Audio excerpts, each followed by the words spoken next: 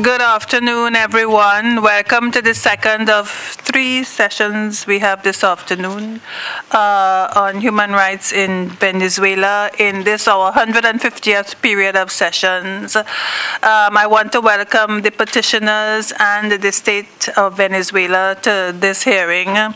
As before, I would like to say, and in fact, thank um, those that went before for the good way in which we conducted these hearings. We continue, we know it's a sensitive time time, but we are here in a spirit of dialogue and in a spirit of cooperation. Uh, the topic for this afternoon is human rights situation of persons deprived of liberty in Venezuela. Uh, with me, I have former President of the Commission, uh, Commissioner Felipe Gonzalez, and a new member of the Commission, Commissioner James Caballero, as well as our Executive Secretary, uh, Secretary Emilio Alvaro. Once again, welcome. I will start with the petitioners and I would ask all of you to introduce yourselves. Thank you.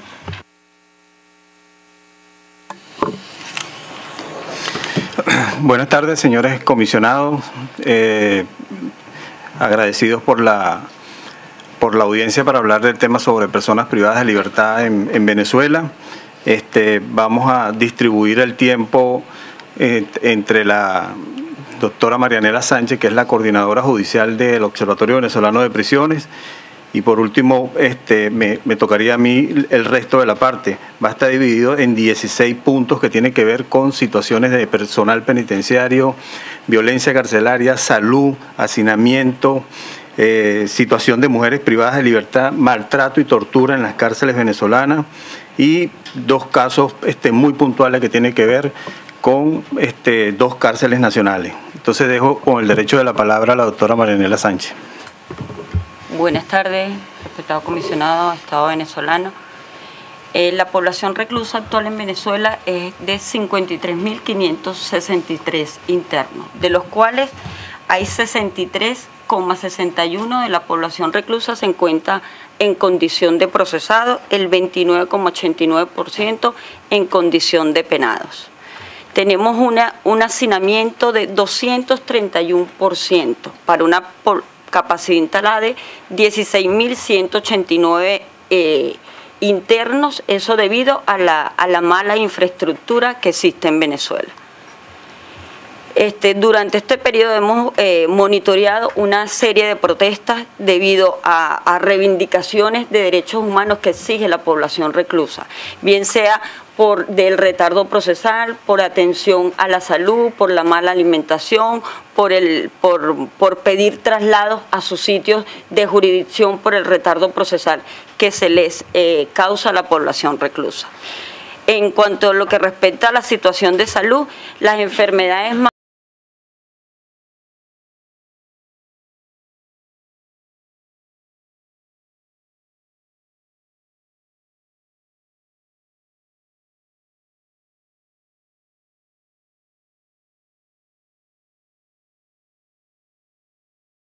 respiratorias debido también a lo mismo, eh, la contaminación por la basura que existe dentro de los recintos carcelarios también les causa problemas y padecimientos virales.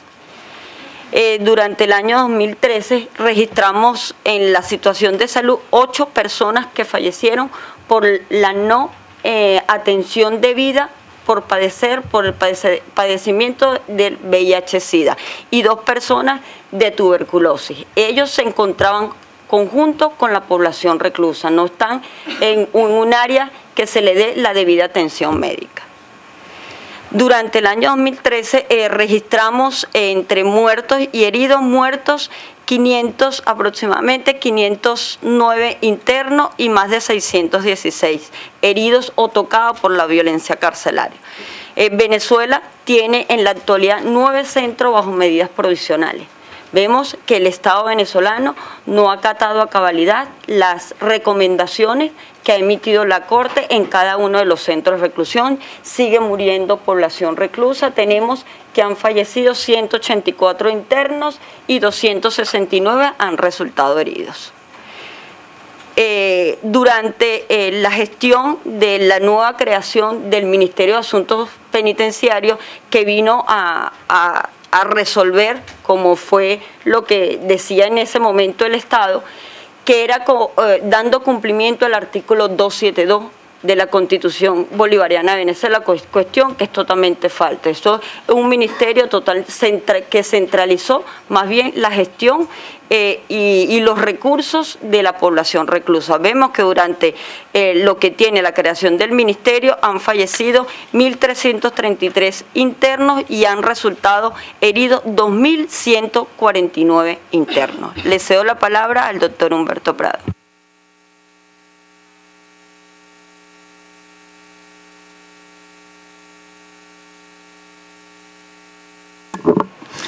En Venezuela, desde el año 1999, se aprobó una constitución novísima en materia de derechos humanos. Tenemos un artículo, como no lo hay en todo el hemisferio, que tiene que ver con, la eh, con lo que pudiera ser una verdadera transformación de las cárceles en cualquier país que habla en nueve puntos básicos en lo que tiene que cumplir el Estado venezolano como mandato judicial. Uno de ellos es imperativo, no es potestativo, y establece que las cárceles se regirán por una administración descentralizada a cargo de los gobiernos regionales o municipales. Como mandato eh, constitucional, desde la, desde la aprobación de la Constitución, no se ha descentralizado una sola cárcel. Por el contrario, se aprobó en segunda discusión el Código Penitenciario y en el Código Penitenciario no se establece la descentralización de una manera imperativa, sino que dice que el, ministerio a cargo de la materia evaluará si trasladará, si el ministerio a la provincia o a cualquier región. O sea, le da una potestad al Estado, si, si quiere te lo entrego y si quiero no. Y la cuestión es que tiene que entregar la cárcel porque es un mandato judicial. Y yo, este, nosotros que hemos estudiado poco esta materia, vemos que la situación de las cárceles en Venezuela, el gobierno nacional ha fracasado de una manera este, estruendosa, no solamente poniendo a nuestro país en lo que es eh, uno de los países más violentos del mundo en materia carcelaria, sino que es muy difícil que 23 gobernadores fracasen. Es mejor tener 23 gobernadores, cada quien encargado de su cárcel, y para ver quién pudiera tener un mejor modelo carcelario en el país. Esto trae como consecuencia de que existe eh, con la creación del Ministerio Penitenciario un llamado nuevo régimen penitenciario. Y ojo con este nuevo régimen penitenciario, porque uniforman a las personas, le cortan el cabello a las personas que ingresan a cada uno de los centros de reclusión, lo ponen a practicar orden cerrado, como si son militares, y además de eso lo ponen a entonar no solamente el himno nacional, sino que también lo ponen a entonar un himno del batallón Bravos de Apure que se llama Patria, Patria Querida. Hacen el, el pase de número reglamentario que es normal y es obligatorio en todos los centros de reclusión. Y además de esto, nada más le dan dos visitas mensuales, una conyugal y una familiar. Entonces, fíjese lo irregular y lo inconstitucional de esto. Todavía no está rigiendo el Código Orgánico Penitenciario. Tenemos todavía rigiendo la ley de régimen penitenciario y el reglamento de internados judiciales. Esas normativas legales establecen de que las cárceles deben tener, por lo menos la población reclusa, dos visitas semanales, una familiar y una conyugal. Esto simplemente con el impulso de este nuevo régimen penitenciario limita y discrimina y le quita derecho a que el interno mensualmente tenga lo establecido en lo que dice la ley de régimen y el reglamento de internados judiciales. Crean un nuevo código, pero para quitarle derecho a las personas privadas de libertad. Entonces, aquí hay que tener mucho cuidado, porque yo creo que este, para las personas que leen algunas visitas que hace la Comisión Interamericana durante su tiempo en función, acuérdense que el 30 de junio de 1981, la Comisión Interamericana de Derechos Humanos realizó una visita a Nicaragua para ver cómo estaban sus cárceles y entró a la cárcel de Jorge Navarro, que es la modelo, y ahí simplemente ponían a los internos a cantar el himno sandinista y a realizar tertulias políticas como tal. Entonces, este, las comparaciones no son buenas, pero la cuestión es que se parecen mucho, ¿no? Y además de eso, ¿qué, dicen este, los internos en nuestro país para, para buscar qué opinión tienen ellos? si el nuevo régimen los beneficia, los tratan bien.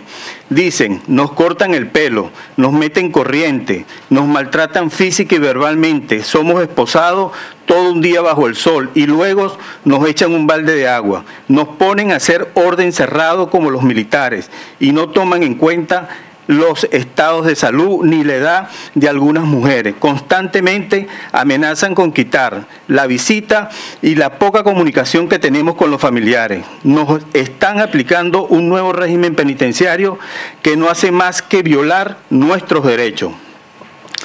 Además de ello, en otra cárcel como la de Yare 3, ¿qué dicen los presos de ese nuevo régimen?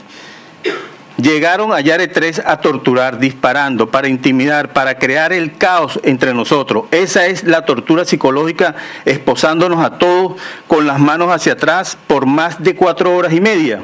Nos dividieron en tres grupos. El que sería más torturado, el que los traje, el de los transgéneros y un grupo más grande. Comenzamos a escuchar los batazos que le daban a los compañeros.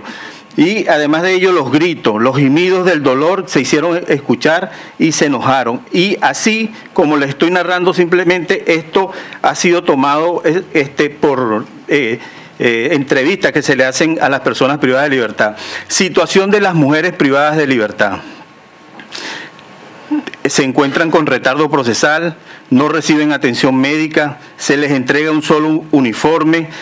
Mire, la verdad es que ustedes se ponen a ver lo del uniforme. El tiempo del uniforme en prisión pasó hace 20 años de moda. Y que ahora lo utilicen para impulsar un orden que, es debido. Bueno, está bien. Pero este, yo, estoy seguro que este, si, si las personas, los, los representantes del Estado estuvieran como están los presos en mi país, seguramente no se estuvieran riendo, ¿no? Seguramente estuvieran en otra condición. Ah, bueno, no sé. Estamos en una audiencia que pienso que es serio por la situación que estamos trayendo. Bueno, pero eso no, entonces eso no da risa. Excuse me, if we cannot, I did say in the beginning that I expected respect and decorum. Each side will have 20 minutes to speak, and if that can't happen, I will have to stop the hearing. So can I ask um, the state, please, you will get your turn. I will listen to you very respectfully. Could you please continue? Thank you. Bueno, se les entrega un solo uniforme a la población reclusa, igualmente a las mujeres.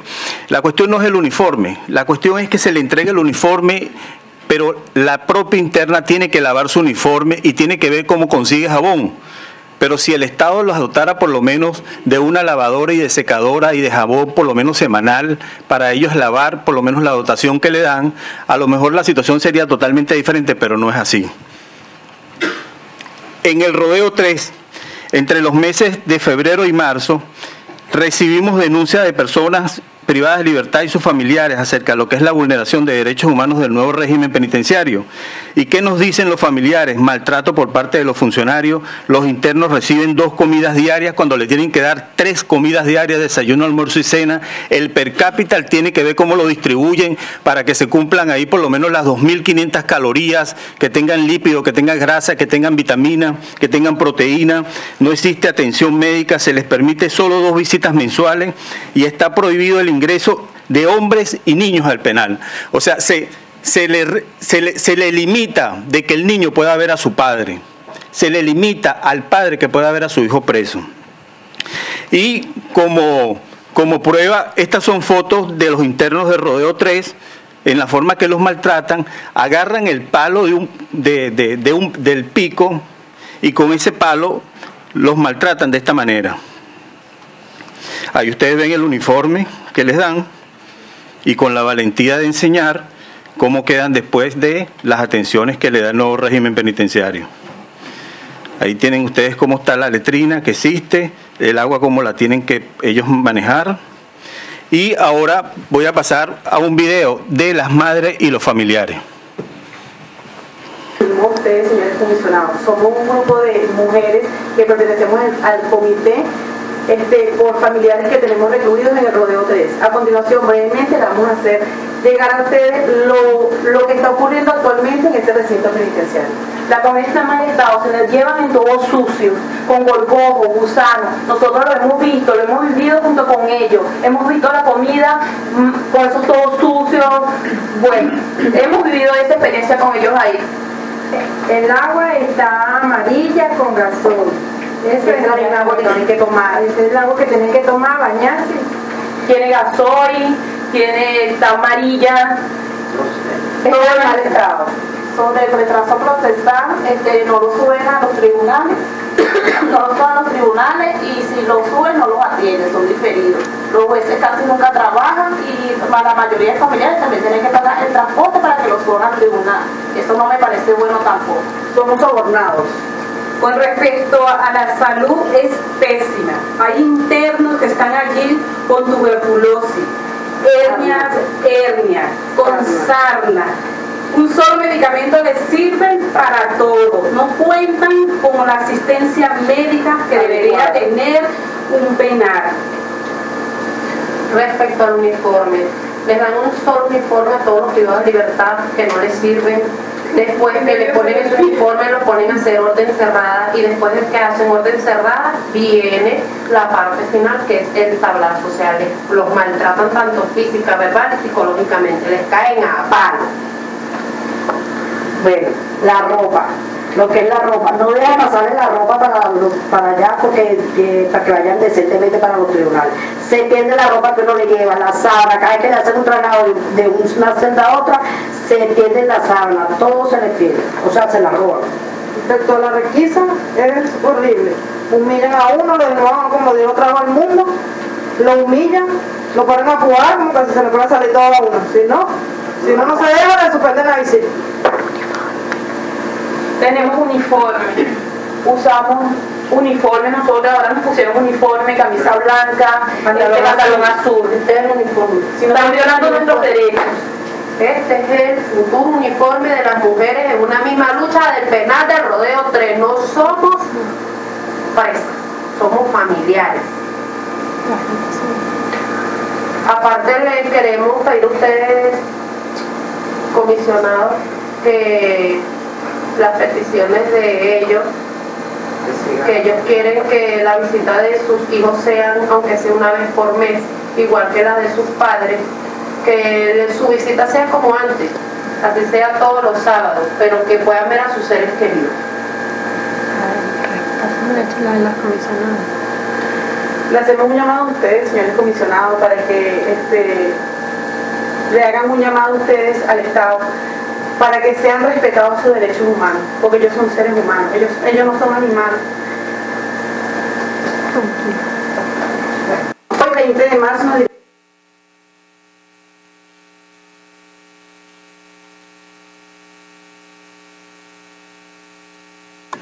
En cuanto a eh, esa es la parte del testimonio de los familiares de los internos y además de ello, desde el 10 de marzo del 2004, siete internas se encuentran castigadas en aislamiento. Según reseñado incluso por medios de comunicación, los padres de las afectadas pudieron recolectar algunas cartas, muestras de cabello, cómo se los han cortado, las meten en una sala de aislamiento llamada Tigrito y le lanzan bombas lacrimógenas hacia adentro. Esto más o menos fue lo que se pudo captar en cuanto al pelo de las muchachas y en la forma en que quedaron porque los familiares lo pudieron recolectar. Internado judicial de Bolívar, yo creo que hace una semana todos ustedes están conscientes de que este, por un enfrentamiento murió un oficial de la Guardia Nacional, un sargento resultó herido y hubo más de 10 internos heridos además de ello. Este penal se encuentra bajo medidas provisionales de protección y lamentablemente no han cumplido los estándares internacionales que envía la Corte. Manifestaciones en Venezuela, yo estaba oyendo al, al representante del Estado al señor Saltrón. Y bueno, este, la fiscal, esto son, es fuente del Ministerio Público de, las manifestaciones en Venezuela, donde van 37 personas que ya han fallecido, 29 son civiles, 8 son funcionarios, hay 559 lesionados, más de 379 civiles y 180 funcionarios. En total, las personas que se han presentado en tribunales son unos 2.153. La situación que llama la atención en esto es la situación que llama la atención en esto tiene que ver en la forma arbitraria de la detención, en la forma arbitraria con que llevan los juicios de las personas que detienen. Los hacen incluso no solamente a, raíz de las noches, a las 10 de la noche, 11 de la noche y duran incluso hasta las 2 de la madrugada. Esos juicios este, se le otorgan las medidas cautelares, otros se quedan privados de libertad pero no es justo de que se le esté dando un trato inhumano, degradante, totalmente inconstitucional a las personas que detienen, tanto estudiantes como civiles. El otro caso es el caso Leopoldo López, que se encuentra en la cárcel de Ramo Verde. Eh, y él ha transmitido de que se encuentra totalmente aislado. Es injusto, así como dijo el representante del Estado, que ha sido preso, que fue preso político, que se repitan estas prácticas de la cuarta en la quinta, porque este señor, Leopoldo López, nada más se le concede las visitas a su esposa y a sus familiares. A sus amigos no se le concede la visita como tal, y aquí por lo menos yo lo único que puedo tener como elemento probatorio es simplemente la declaración del señor Leopoldo López que debe tener su visita como cualquier interno sin modo de aislarlo. Muchas gracias y me despido con un pensamiento de Nelson Mandela.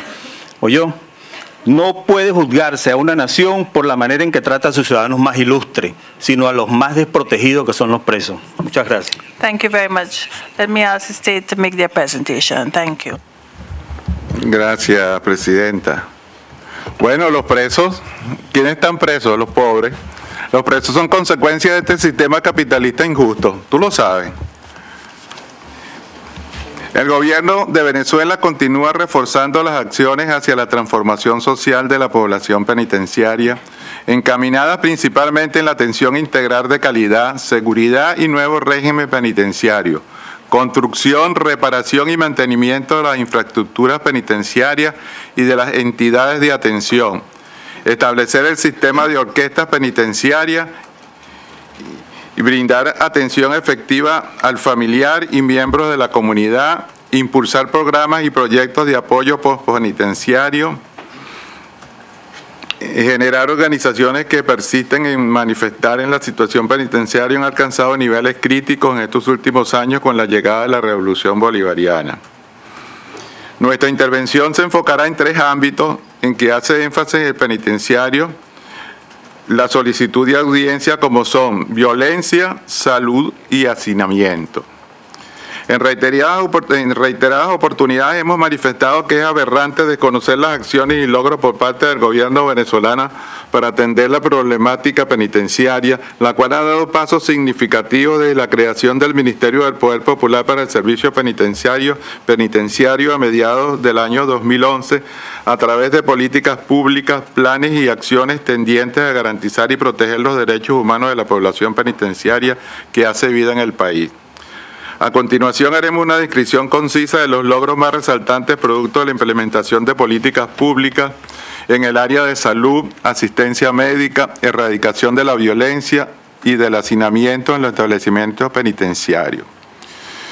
Desde el año 2013 hasta febrero del 2014 se han realizado 111 despachos de medicamentos, insumos y equipos médicos odontológicos en 70 establecimientos penitenciarios con una inversión del Ministerio Público de 13.677.560 millones de bolívares. A la par de ello, se realizaron gestiones conjuntas con el Servicio Autónomo de Elaboraciones Farmacéuticas, CEFAR, para donarlos como medicamento. Durante el 2013 se llevaron a cabo las siguientes actividades. Consulta en medicina general 71.181.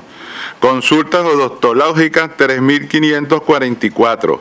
Consultas psiquiátricas 664 Jornadas médicas y ontológicas especiales se realizaron en 26 establecimientos penitenciarios, atendiendo a 4.334 hombres y 917 mujeres. Charlas de salud 2053. En los meses de enero y febrero del 2012 se realizaron Consultas de medicina general 5.318, odontológicas 226, psiquiátricas 86. Durante el año 2013, en 26 establecimientos penitenciarios del país se realizaron un total de 43 jornadas médico-odontológicas especiales, en las cuales se atendió una población penitenciaria de 4.567 personas, 3.796 hombres y 771 mujeres. En el año 2014 se han registrado hasta el mes de febrero un total de seis jornadas especiales en donde se beneficiaron 564 hombres y 81 mujeres. Es importante hacer mención que la mayoría de estas personas han sido trasladadas a centros hospitalarios cuando lo han requerido, bien sea por casos de emergencia como por práctica de distintos exámenes y aplicación de terapias o tratamientos. En el marco del Plan Cayapa, o sea, se realizan los tribunales itinerantes, se llevan a las cárceles y ahí se interroga a cada uno de los detenidos para averiguar cuál es su situación judicial. Eso es lo que se llama Plan Cayapa. Se han atendido por retardos procesales. En el 2013 se realizaron 56 jornadas en 50 establecimientos penitenciarios del país y 6 jornadas en comisarías y comandos generales de policía, donde se garantizó la asistencia jurídica a las privados o privados de libertad y a sus familiares. Este plan se desarrolló durante 93 días consecutivos, atendiendo a 51.210 privados de libertad y 4.717 familiares realizando 233.694 atenciones a la población penal, dando como resultado que en promedio un privado de libertad recibe como mínimo tres atenciones primordiales tales como jurídica, salud, familiar, educativa, cultural, entre otras. Discriminados en la siguiente manera. Venezolanos, 49.532. Extranjeros, 1.678. Atenciones jurídicas en el despacho 23.719. Redención judicial por trabajo y estudio. Estos son los beneficios 7.259 ofertas laborales por la caja de trabajo, una caja de trabajo donde ellos realizan actividades 1.500. Evaluaciones en medicina general 4.265. Atenciones odontológicas 1032. Atención a la familia 4717. Se atiende a los privados de libertad y también a los familiares de los, de los privados. Libertades otorgadas 4.658. De igual forma, en el 2013, durante el Plan Cayapa, se llevaron las siguientes consultas. En medicina general 114, en odontológica 153 y médico forense 146. Hacinamiento, vamos a hablar del problema de hacinamiento que es el problema más grave de las cárceles de todo el mundo. Como acciones ejecutadas y en proceso de ejecución están la ampliación, recuperación, dotación y construcción de edificaciones penitenciarias, solucionando el hacinamiento. En el transcurso del año 2013 se logró incrementar considerablemente la capacidad instalada en el sistema penitenciario. Existen más de 25 mil plazas, convirtiendo los establecimientos penitenciarios en talleres de trabajo, de producción y de educación. Resulta oportuno dar a conocer las estadísticas oficiales del gobierno venezolano mediante los cuales se evidencian los grandes logros en esta materia y que ponen en evidencia una vez más que los datos e informaciones manejadas por algunas organizaciones que se autoproclaman defensoras de los derechos humanos de la población penitenciaria en el país no se puede considerar fidelignas por cuanto están muy lejos de nuestra realidad y aunado a ello se desconocen las fuentes de donde provienen, lo cual le resta validez y seriedad a las mismas. Antes de la llegada del gobierno revolucionario, la capacidad instalada en el sistema penitenciario de la Cuarta República rondaba a 14.939 plazas. Y desde la llegada del gobierno revolucionario hubo incremento hasta 24.912 plazas. Hace dos años y medio se creó el Ministerio del Poder Popular para el Servicio Penitenciario y en la actualidad se han incrementado los cupos hasta 25.000 plazas como resultado de las ampliaciones y construcciones realizadas durante el año 2013, obteniéndose un beneficio directo para la población penitenciaria y combatiendo el hacinamiento. Aún continuamos con estas ampliaciones y se prevé aumentar la capacidad instalada para la cual se construye actualmente 8 de 24 centros para procesados judiciales en la primera etapa y una comunidad penitenciaria y tres recintos penitenciarios actualmente en remodelación total. A raíz de las acertadas políticas públicas, se han inaugurado nuevos establecimientos penitenciarios, los cuales cuentan con la ampliación del nuevo régimen penitenciario, el cual se está implementando mediante estrategias como el diálogo y la persuasión con el restricto respeto a los derechos humanos, donde se ejecuta orden cerrado y actividades educativas, deportivas, culturales y recreativas.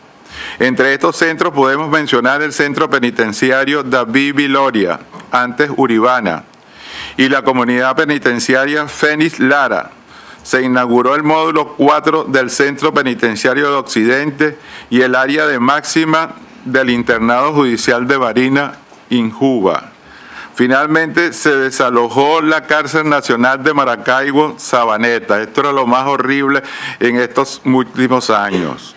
No cuando llegó la revolución, sino anteriormente.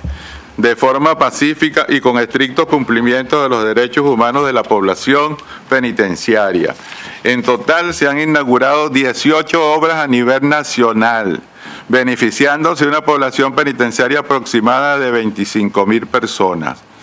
A su vez, es importante destacar que continuamos con la ejecución del Plan Cayapa y Cayapita Judicial, instalación de tribunales itinerantes en los establecimientos penitenciarios para atacar el retardo procesal, dando resultados positivos en cuanto a la celeridad de los procesos judiciales, otorgamiento de beneficios que sustituyen la privación de libertad como destacamento de trabajo, régimen abierto, fianzas bajo palabra, libertades plenas, lo cual repercute directamente al desacinamiento carcelario.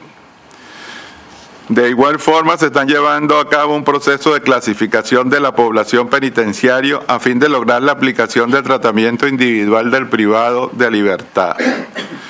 Resaltamos que todos los centros de reclusión donde se encuentran los privados de libertad están uniformados y donde se aplica el nuevo régimen, también se ha llevado a cabo la clasificación de niveles de seguridad de máxima, media y mínima, además de practicar la separación entre penados y procesados. Erradicación de la violencia carcelaria. Esto era lo más grave de las cárceles, señores. El Estado venezolano continúa ejecutando políticas y planes de acertados para la erradicación de la violencia en los establecimientos penitenciarios, como la aplicación de requisas ordinarias y extraordinarias que van dirigidas a eliminar los hechos de violencia intracarcelaria. Esto antes no se podía hacer porque los planes que eran los que gobernaban las cárceles porque tenían todo un arsenal dentro de las cárceles, no permitía que se pasaran las requisas. Se diseñó un nuevo régimen penitenciario que se aplica eficientemente y funciona con éxito en aproximadamente 70 establecimientos penitenciarios, comprendidos en 31 entidades para adolescentes en conflicto con la ley penal, 16 centros para mujeres y 23 internados o centros penitenciarios para hombres, cifra que representa un 80% de los recintos de reclusión existentes en el país. Podemos mencionar que se han realizado requisas en todos los establecimientos penitenciarios, dando un saldo positivo en incautación de objetos de prohibida tenencia, tales como armas de fuego, accesorios para armas de fuego, explosivos, municiones, armas blancas, teléfonos y accesorios, sustancias estupefacientes y psicotrópicas. Igualmente se ha impedido el ingreso de las personas y se han practicado detenciones de aquellas que han tratado de introducir en los establecimientos penitenciarios objetos de prohibida tenencia, drogas, armas y municiones, las cuales se han puesto a la orden de los organismos policiales y de investigación competentes.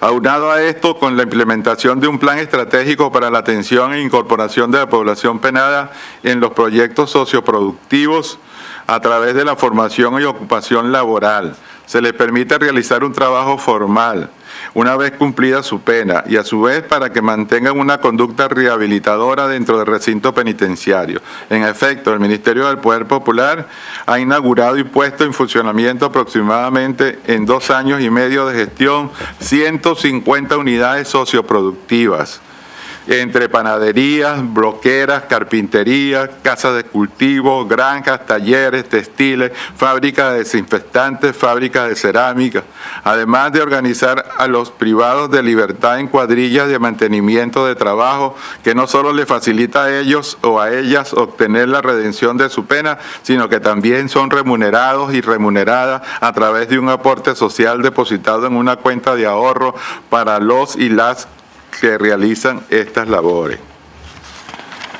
De la misma manera, con la construcción de centros para procesados y procesados judiciales se garantizan condiciones necesarias de habitabilidad durante el proceso, contando con espacios dignos y servicios básicos de calidad en, en cumplimiento de las normas de derechos humanos para así asegurar su reinserción a la sociedad.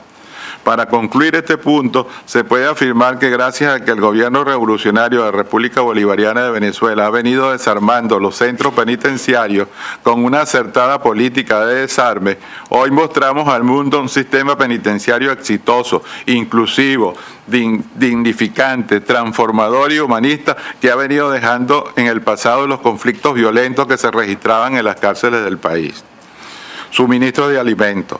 La alimentación está garantizada en todos los establecimientos penitenciarios, considerándose los valores nutricionales aportados por el Ministerio del Poder Popular para la Salud, en donde también se establecen las cantidades que deben ser consumidas tanto para los hombres como para la población femenina. Es un hecho verificable que el Estado venezolano, a través del Ministerio Popular, de Servicio Penitenciario ha realizado grandes inversiones destinadas para la alimentación de toda la población penitenciaria del país. El Ministerio del Poder Popular ha hecho una gran inversión que alcanza para el año 2013 la cantidad aproximada de 808.875.511 bolívares. Estas informaciones y demás datos cuyas fuentes provienen del gobierno nacional son los únicos que se pueden considerar fidelignos por cuanto son los oficiales.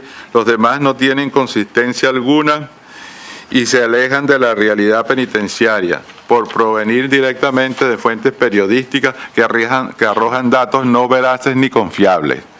Señores, mencionado, no reconocer que el gobierno de la República Bolivariana de Venezuela ha realizado grandes transformaciones en pro de solventar la problemática penitenciaria heredada de la Cuarta República cuando gobernaban Acción Democrática y COPE y eso que están haciendo guarimbas ahorita, resulta inaceptable y más aún cuando los señalamientos provienen de algunas organizaciones que a simple vista muestran interés netamente político para afirmar que la crisis penitenciaria no ha sido abordada y que han empeorado en estos últimos 15 años. Otro ejemplo, en lo que se refiere al irrestricto respeto de los derechos humanos que aplica el gobierno, es la aceptación por parte de la población privada de libertad de las políticas penitenciarias implementadas. Como dato importante, los privados de libertad que están facultados para ejercer el derecho al sufragio en las últimas elecciones han respaldado contundentemente al gobierno revolucionario con apoyo que oscila entre un 70 y 98 de los recintos penitenciarios del país. Resulta contradictorio que Venezuela, por mayoría de votos, 154 países, pasó a ser miembro del Consejo de Derechos Humanos de las Naciones Unidas y por otro lado es señalado por las organizaciones no gubernamentales por considerar que se vulneran los derechos humanos de la población penitenciaria. Esta inclusión en el Consejo de Derechos Humanos expresa el valioso reconocimiento de los avances alcanzados para fortalecer la protección de los derechos humanos en el país, incluyendo la población penitenciaria, lo que representa claramente que la República Bolivariana de Venezuela, estamos encaminados en el cumplimiento de los instrumentos internacionales que establecen las bases para el ejercicio y disfrute de los derechos humanos. Para culminar, la ministra del Poder Popular para el Servicio Penitenciario ha extendido a los medios de comunicación nacional e internacional una cordial invitación para que se coordine una visita guiada a los establecimientos penitenciarios que cuentan con el, nuevo régimen penitenciario en nuestro país. Muchas gracias. Thank you, and especially for keeping well within your time. We will have some extra time for questions uh, because of that. Um, I'm going to ask the rapporteur for Venezuela, Commissioner Gonzalez, to give his observations. Muchas gracias. Este, la verdad es que de los eh, elementos de juicio que se han proporcionado en esta audiencia y de la documentación que la Comisión ha venido recabando sobre la situación de prisiones en Venezuela se revela un, un cuadro eh, muy grave. La cantidad de muertos impresiona y más aún eh, tratándose de personas que están en recintos penitenciarios respecto a los cuales la Corte Interamericana ha dictado medidas provisionales. Eh, y en este sentido, el Estado en su exposición ha eh, mencionado una serie de medidas que está adoptando. eh, pero claro, ahí la, la evaluación más a fondo, que no es posible hacerla en este momento, por supuesto, es en qué medida se trata de medidas reactivas y en qué medida ellas se insertan dentro de una política pública comprensiva para confrontar adecuadamente la situación carcelaria. Este, uno de los aspectos que se mencionó fue la construcción de nuevos establecimientos penitenciarios. Yo quisiera escuchar lo que los peticionarios tienen que decir al respecto, si esta eh, construcción de nuevos establecimientos eh, constituye o no un paso significativo. Eh, y quisiera escuchar del Estado una, una, una versión más completa, si es posible, eh, de una política pública en materia de prisiones, dado lo estructural del problema. Entiendo que tampoco es posible hacerlo en, esto, en este tiempo breve que tenemos ahora. Ahora, eh, también quisiera preguntar, a propósito de lo que se mencionó aquí, eh, por la situación de Leopoldo López Mendoza, que, a quien se refirió la comisión en su segundo comunicado de prensa, cuál sería la situación de su detención. Aquí se señaló que su derecho a la visita eh, sería más restringido que lo habitual. Y por último, quisiera eh, eh, recoger y apreciar lo que señaló al- en el final de su intervención el doctor Saltrón, eh, el representante del Estado venezolano, en el sentido de que la comisión pudiera visitar las prisiones en Venezuela. Eh, desde luego, eso sería un paso muy importante que la comisión valoraría enormemente, eh, ya que permitiría una, una, una observación y un monitoreo de primera mano, que es lo que la comisión ha venido solicitando eh, encarecidamente. Uh, Thank you. We also have with us the rapporteur for the persons deprived of, of the rapporteurship for the persons deprived of liberty, uh, Commissioner James Cavallaro. So I'm going to ask him to make his observations. Thank you. Many thanks, Madam uh, Vice President. Ah, bueno, este, primero como relator eh, de, los derechos de las personas privadas de libertad, eh, quisiera este, agradecer este, la respuesta del Estado venezolano al cuestionario que mandamos sobre la prisión preventiva. Este tipo de información que, eh, es muy importante para la relatoría como es para la comisión. Entonces agradecemos este, estas informaciones. También agradecemos este, la presentación que ha hecho y también la presentación de los peticionarios. Ah, quisiera también este, concordar con lo que ha dicho este, mi colega este, comisionado González en lo que se refiere a la, a la, a la posibilidad de visitar y conocer de cerca este, la situación actual y los avances que ah, nos ha con- eh, eh, mostrado y contado en esta sesión el Estado. Ah, claro, este sería muy interesante para nosotros este, y que, claro, la visita tendría que cumplir con las normas que tendría cualquier institución internacional en lo que se, ref- se refiere al acceso, la posibilidad de hablar con este, eh, todos los este, privados de libertad, etcétera, etcétera. Pero este eh, sería un paso este, muy importante y eh, este, y la comisión este, reconoce este, la importancia de, eh, del mismo. Ahí quisiera hacerle este, dos preguntas ah, y a lo mejor este, al Estado, pero a lo mejor este, los peticionarios tendrían algún comentario. Ah, sobre el hacinamiento, si bien es cierto que parece que ha aumentado el número de plazas a 25 mil por los esfuerzos del Estado en los últimos meses, ah, años, años, muchos meses hacen años, entonces 12, para ser preciso. Ah, si hay, de hecho, unos 63 mil, parece, privadas de libertad y 25 mil este, plazas, ahí todavía hay un desafío grande. Y la cifra que se maneja, eh, si no me engaño, este, eh, van en el sentido de que habría 63% de la población este, en, estado de prisión preventiva, ¿no? procesados.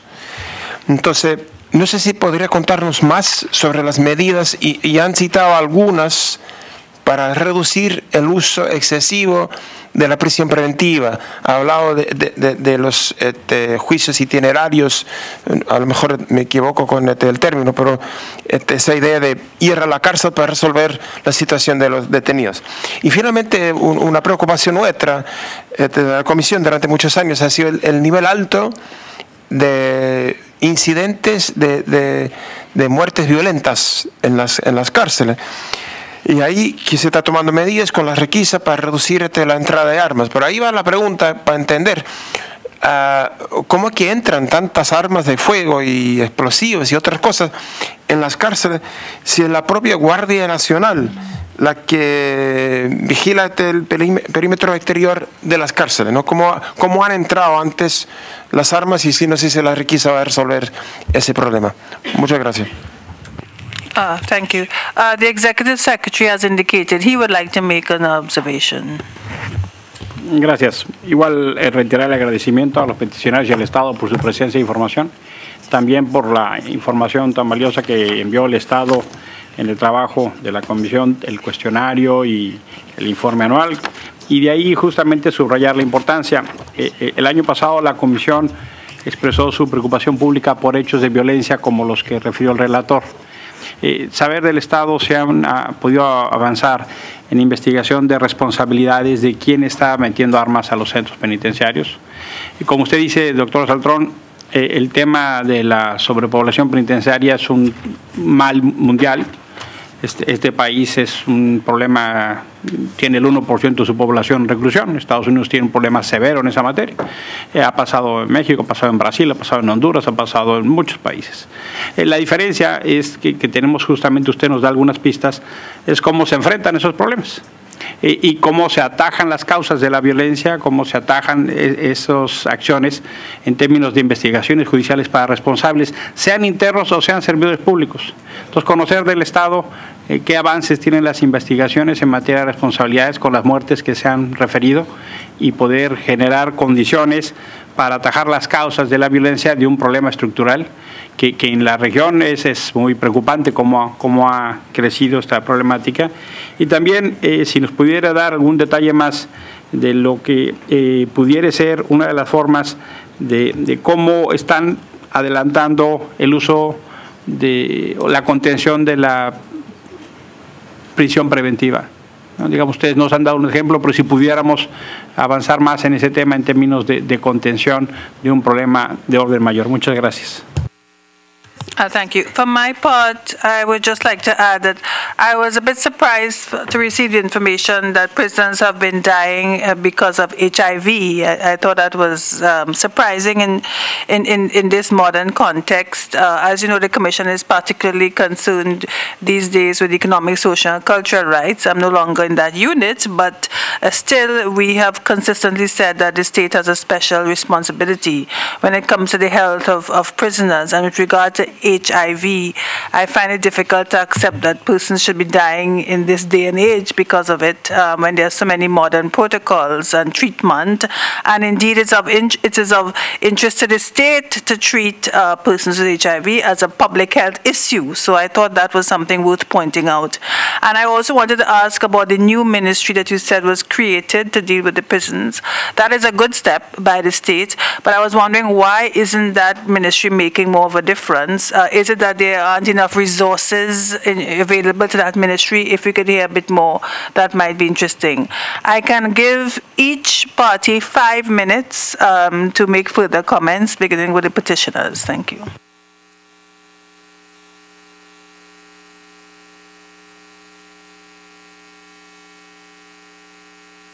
Ah, vamos, déjame responder un segundito.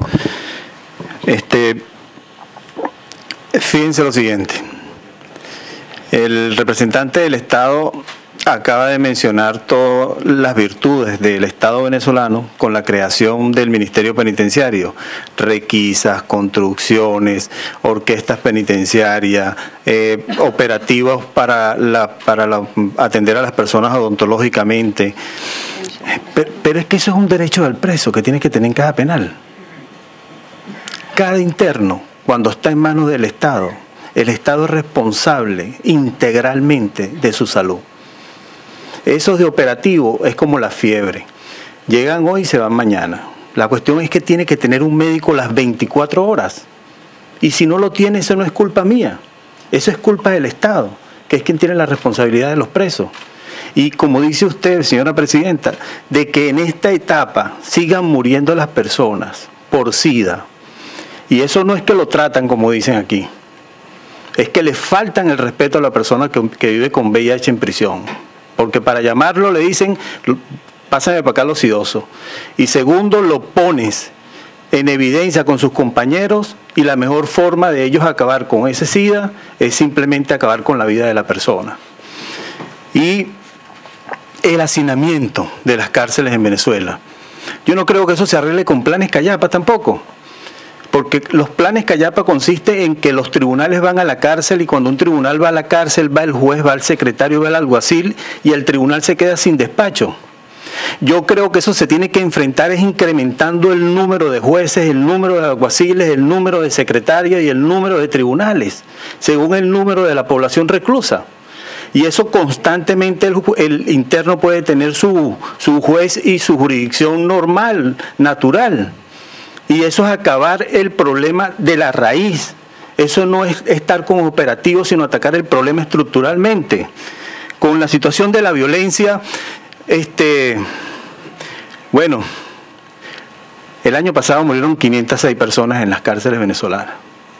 Ningún país del hemisferio ni Brasil que tiene 486 mil presos, ni México que tiene 250 mil presos, que tiene problemas de, droga en Sinaloa, que tiene dos penales en México DF que su población reclusa es de más de 12 mil presos cada una. Mueren tantos presos como mueren en Venezuela.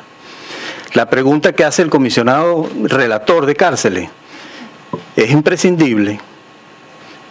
¿Quiénes pasan las armas a las cárceles? Quiénes son los que están con este negocio de, las armas, de las ametralladoras, de las bazucas, de las pistolas. Bueno, ahí se consiguen las, las armas que ni siquiera tienen los cuerpos policiales. Y esto tiene un solo responsable, es el Estado venezolano porque tienen dos custodias, una que la hace a nivel externo, que es la Guardia Nacional, y otro que la hace a nivel interno, que es el Ministerio Penitenciario. Entonces, aquí hay que llamar las cosas por su nombre.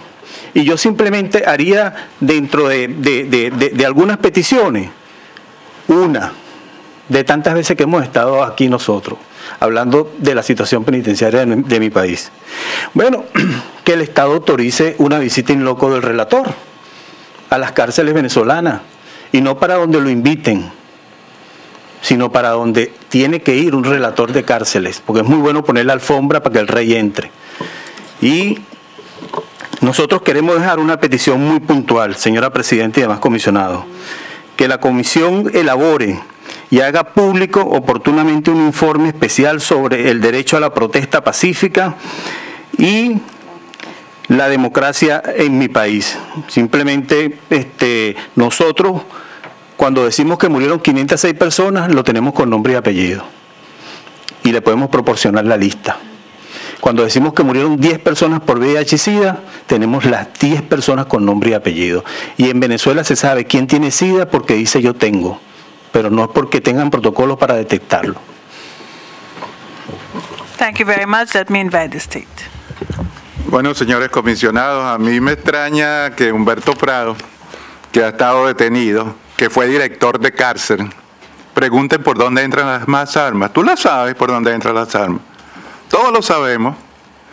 Y por eso ahora la única forma de, desarmar la población es la inversión que va a hacer el Estado venezolano y hay un compromiso con el convenio chino se va a instalar todo un equipo de detección de armas, de metal, de todo lo que ingresa en las cárceles. Por supuesto, eso no se va a poder implementar en todas las cárceles, pero ya hay el compromiso, ya hay el programa de que cualquiera persona que vaya a ingresar a la cárcel, así venga en una ambulancia, así sea la Guardia Nacional, así sea el presidente de la República, tiene que pasar por el detector de metales. Esa es la única forma de controlar el ingreso a las cárceles, que es lo que hacen en Estados Unidos. Y hablando de Estados Unidos, que en verdad tiene la mayor promedio de privados de libertad, en Estados Unidos usan uniforme. Humberto, ¿no sabes tú que los Estados Unidos usan uniforme? Ah, ah, ah, no te gusta. Both sides again. We've had our time. Please, Mr. Petitioner, we were doing so well. Let's don't spoil it now. Thank you. Continue. Gracias. Bueno, es la verdad, mire, no podemos tratar los problemas de los derechos humanos con hipocresía, con política barata. Eso no, esto no es ningún partido político, aquí no hay elecciones, aquí hay una realidad mundial, que es el aumento de la criminalidad. Hasta en Suiza está argumentando la criminalidad. Es un problema mundial, aumentar la criminalidad. ¿Y por qué aumenta la criminalidad? Por la pobreza, por la situación inestable de la gente y no hay cárceles, no hay cárceles que tú puedas construir donde puedas tú evitar esa situación si tú no atacas la causa primordial que es la pobreza y la desigualdad social. Entonces tú tienes que ir paulatinamente combatiendo la desigualdad social y combatiendo la criminalidad. Y eso no se le puede pedir tú a ningún país. Tú sabes exactamente cuáles eran las condiciones aquí del año 94. La Comisión Interamericana de Derechos Humanos ha visitado una sola vez en Venezuela y fue en el año 94 y visitó las cárceles y vio la gravedad de las cárceles en aquella situación. ¿Tú crees que decretó alguna medida cautelar? ¿No? Hizo el informe, allá aparecen las condiciones inhumanas de las cárceles venezolanas de aquella época, pero no decretó ni una medida cautelar. Tú sabes que en 15 años de gobierno del Chávez hay siete medidas cautelares de cárceles venezolanas. Ah, entonces, de que el presidente Chávez llegó, sí se dictan medidas cartelares y se preocupan por los presos. Antes, en los 40 años que ellos gobernaron, la comisión no veía y era ciega y no sabía qué es lo que sucedía en las cárceles venezolanas. Y eso ha pasado siempre. No se sabía la pobreza que existía antes de llegar el presidente Chávez y no se sabe que ahora se han sacado casi 4 millones de personas de la pobreza. Entonces nosotros no podemos en 15 años solucionar dos problemas que en 100 años o en un siglo no se ha podido resolver en Venezuela. Esa es la realidad, no vamos a hacer demagogia, es la realidad y todo el mundo aquí tiene que saberlo. La comisión sabe cuál es la situación de las cárceles en todos los países de América Latina y el Caribe el comisionado Meléndez, creo que se llamaba, que estuvo aquí, recorrió todas las cárceles de América Latina y hay un informe. Te invito que leas ese informe, Humberto Prado, para que veas cuál es la realidad de las cárceles. Y las cárceles no se solucionan dándole la, administración de ellas a los gobernadores. Si no puede un país, o no puede el presidente de la República, que tiene todo el presupuesto nacional, va a poder un gobernador solucionar los problemas, por favor. No podemos ser tan, tan mentirosos y tan ingenuos. Nosotros lo que podemos decir es que nosotros estamos trabajando en la solución de los problemas, como ninguno otro, porque Venezuela se invierte en la solución de los problemas sociales. El 60% del presupuesto nacional en los 15 años de gobierno revolucionario ha invertido en, en programas sociales el 60% de ese presupuesto. Y por eso precisamente es que hemos mejorado la situación económica del país y por eso es que tenemos los reconocimientos de Naciones Unidas en materia de logro de derechos humanos, económicos, sociales y culturales y por supuesto en el derecho a la vida, en los derechos políticos y civiles. Y, Venezuela tiene la mejor constitución, es la única país del mundo que reconoce todos los derechos humanos, los de primera, segunda, tercera y cuarta generación. Estamos trabajando pero no nos dejan. Esto de la visita, lo mejor que, el Ministerio de Relaciones Penitenciarias, cuando dijo lo de la visita, eso ya ahorita con esta situación de, de, insurrección nacional que existe en Venezuela, que ya han matado 36 personas en protestas violentas, ahorita no se podría hacer, porque ahorita estamos precisamente eh, logrando que nos dejen gobernar. ¿Y quién son los culpables de esta situación? Los, esos señores que se llaman defensores de derechos humanos y que en verdad no hacen la no, no hacen en verdad su trabajo. Muchas gracias. Thank you. Um, and of co- uh, No, yo soy- hablo verdad. Excuse me. Hello, Mr. Petitioner. Of course, it is the case that we, the Commission, is used many more precautionary measures generally um, in the region uh, because that is premised on requests for measures, and I think it is also due to the fact that there's a better awareness of human rights in the region. So we do get requests, even from the Caribbean, which is a good thing um, from where I'm from. So that is all to do with the strengthening of the human rights system, and that is why we hold hearings like this today, so that we can have more information and assess and evaluate. For the most part, I, I think um, we we didn't disintegrate. I'm so glad that and th- thank you in general for the way in which the hearing was conducted today, and again for being here. These are difficult issues. There are two sides that don't always agree, but there's a value in us coming together to sit down to try to discuss, to try to cooperate, to try to dialogue. I really want to thank the state of Venezuela for your continued commitment despite your criticism, and we take the criticism on board. We value the fact that you come and still are with us, and you, the petitioners, to persist in, in your own struggles uh, for, for human rights, and all of us are interested in strengthening the system of human rights. So thank you very much once again.